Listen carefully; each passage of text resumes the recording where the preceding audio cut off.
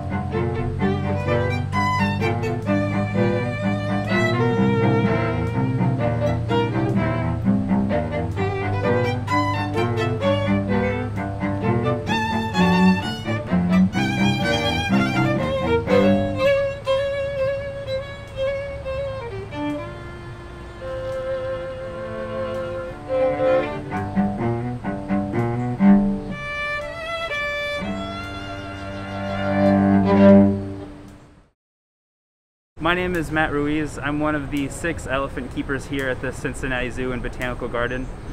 We have just played a song for our three female Asian elephants And right behind me is Mai Tai. Um, what I thought was really cool is as soon as the musicians started playing, two of our females came straight over. They had their ears flapping, they were wagging their tails.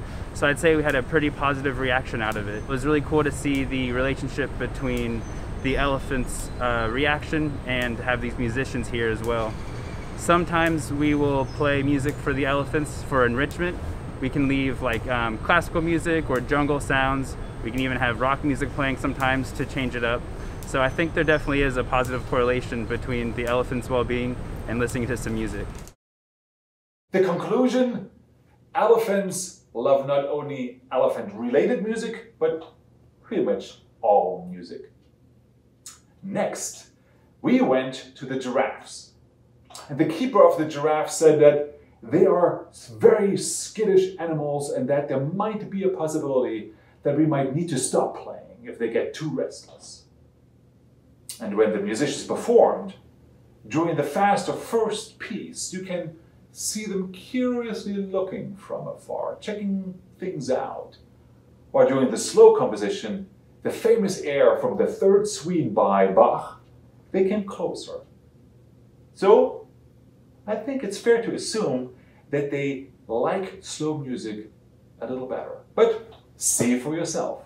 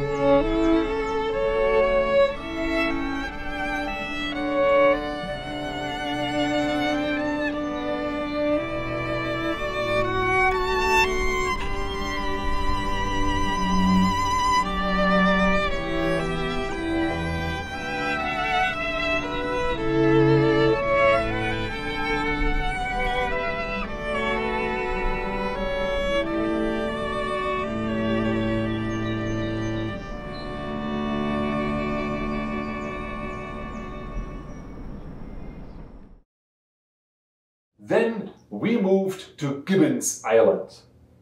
And here we played the slow piece, The Swan by Camille Saint-Saëns first, followed by a faster composition.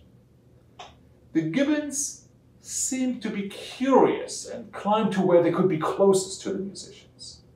Some of them actually sat pretty still and seemed to listen. They were a really good audience. I think they might have liked the faster music better. What do you think? Let's check it out.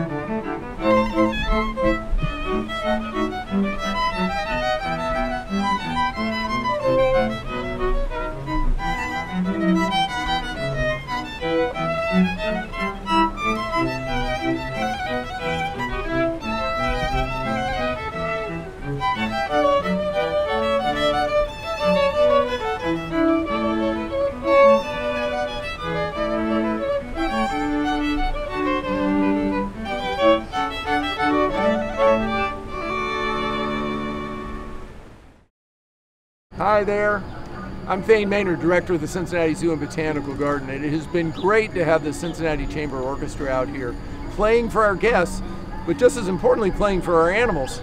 Mai Tai, our Asian elephant, absolutely loved it and literally responded to different music in different ways.